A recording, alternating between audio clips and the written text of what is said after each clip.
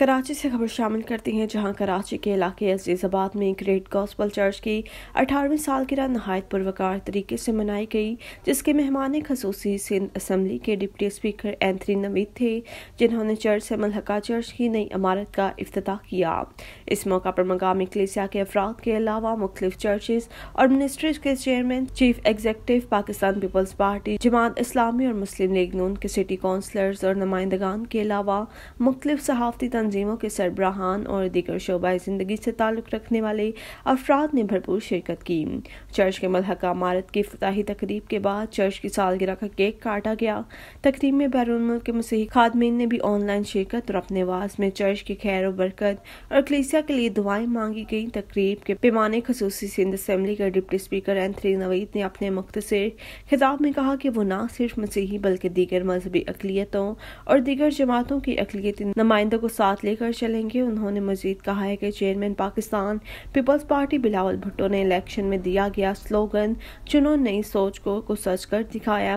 Programme के आखिर में ग्रेट गॉस्पल चर्च पाकिस्तान के बानी और चेयरमैन पास्टर रॉबिन रास ने नेशनल न्यूज़ नामा से बात करते हुए क्या कहा जानते हैं। इलाके अजीजाबाद में हूँ और अजीजाबाद में ग्रेट गॉस्पल चर्च में मौजूद हूँ। आज इस चर्च की अठारहवीं एनिवर्सरी है।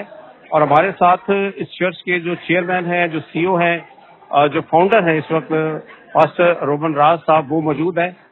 इनसे जरा मालूम करते हैं कि आज जो अठारहवीं एनिवर्सरी है, इसके हवाले से ये क्या कहना चाहेंगे? जी पास साहब।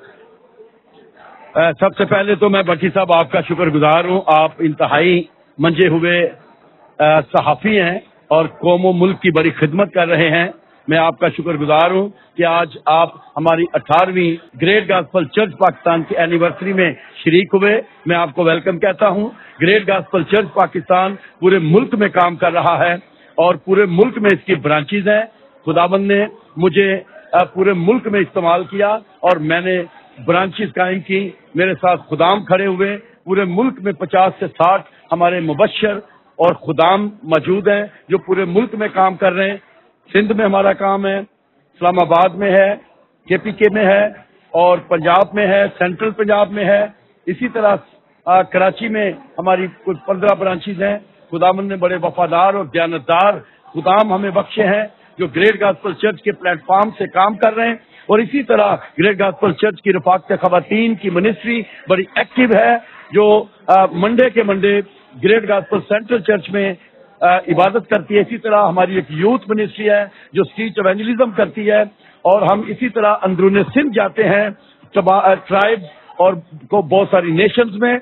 और उसको हम ग्रेट होप आउटरीच मिनिस्ट्री के नाम से करते हैं। और इसी तरह खुदावंत के नाम को हम इज़्ज़त और जलाल देते हैं। ग्रेट गास्पल चर्च ना सिर्फ़ एवेंजलिज्म करता है, ये चैरिटी करता है, लोगों की फलाह बहबूद के काम करता है। और हर तरह से कौम के साथ खड़ा है।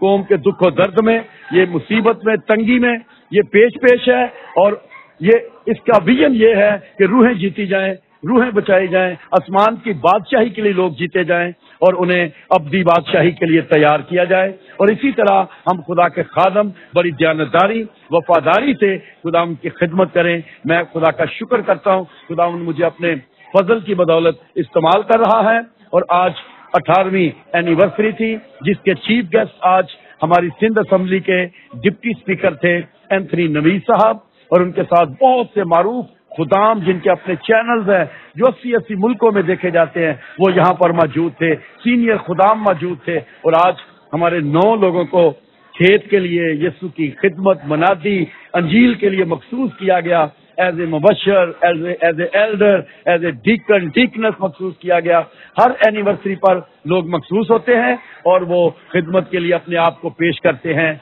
और लोग आ, इसी तरह खिदमत के मैदान में हमारा साथ देते हैं और खुदावन का शुक्र हो कि मेरी उम्र इस वक्त पचपन साल है और मैं चालीस साल से खुदावन की खिदमत कर रहा हूँ और ग्रेट गास्पल चर्च के प्लेटफॉर्म से मैं अंजील की मनादी करता अंजील का मनाद खुशखबरी का खादम हूँ और दूर दूर तक खुदा उनके नाम को इज़्ज़त और जलाल देता हूँ। मेरी टीम मेरे साथ है मेरी मिसिज अक्सर रोबन राज मेरे साथ मिलकर खिदमत करती है मेरे मेरी बेटियाँ मेरे साथ खिदमत में हैं और मैं खुदा के नाम का आ, उसके जलाल का शुक्र अदा करता हूँ उसके नाम को जलाल देता हूँ। और आज वटी साहब मैं शुक्रगुजार हूँ कि आप यहाँ आए और आपने इस अठारहवीं एनिवर्सरी पर मुझे इजहार ख्याल का मौका दिया कि मैं दिल खोल कर अपने चर्च के बारे में आपको बताऊँ। खुदा आप सबको बरकत दे। बहुत शुक्रिया जी। Thank you